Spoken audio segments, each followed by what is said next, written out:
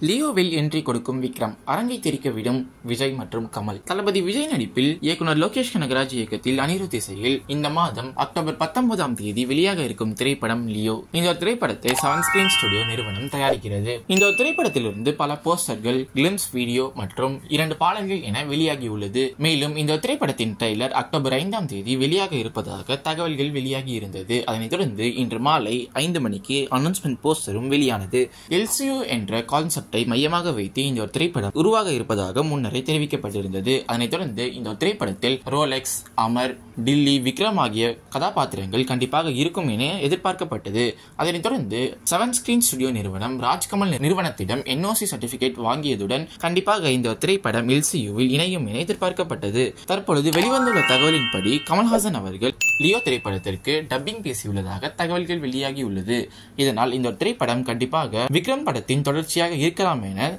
எதிர்பார்க்கப்படுகிறது.